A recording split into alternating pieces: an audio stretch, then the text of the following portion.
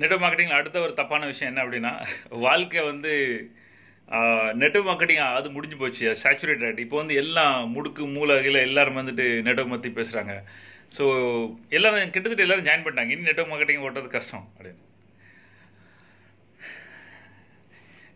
எவ்வளோ நாள் இந்த இந்த உலகத்தில் பொருளுங்கிறது ஒன்று விற்கிறாங்களோ ஒரு சர்வீஸுங்கிறது விற்கிறாங்களோ அது வரைக்கும் நெட்வொர்க் மார்க்கெட்டிங் முடியாது. சரியா? ஒன்று என்ன நம்ம பொருள் அவங்க நிப்பாட்டிடுவோமா?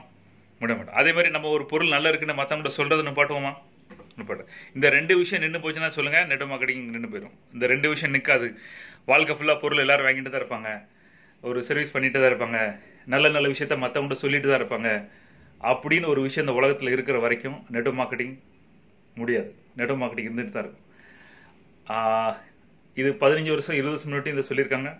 இப்பவும் சொல்கிறாங்க பதினஞ்சு வருஷம் முன்னாடி சொல்லிட்டு ஒதுங்கியிருந்தவங்க இருந்தவங்க என்ன ஆனாங்க தெரியாது. ஆனால் அதில் நின்று நிலைச்சவங்க இன்னைக்கு சாதிச்சிருக்காங்க.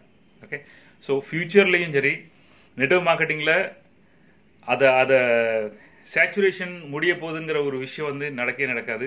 அது வந்து எப்போ முடியும்? எதுவும் பொருள் உலகத்தில் எதுவும் வாங்க மாட்டாங்க விற்க மாட்டாங்க ஒரு நூலை வரும்போது. அது மாதிரி யாரும் யாரையும் ரெக்கமெண்ட் பண்ண மாட்டாங்க. இது நல்லா இருக்குது இந்த படம் நல்லா இருக்குது இந்த கடன் நல்லா இருக்குது இந்த பொருள் நல்லா இருக்குன்னு யாரெல்லாம் சொல்கிறத விட்டுட்டாங்களோ அன்னைக்கு நெட்வொர்க் மார்க்கெட்டிங் ரெண்டு பேரும். ஆனால் அந்த ரெண்டு நடக்குமா? நடக்காது இல்லையா? அதுதான் சேச்சுரேஷனுக்குள்ள பாயிண்ட்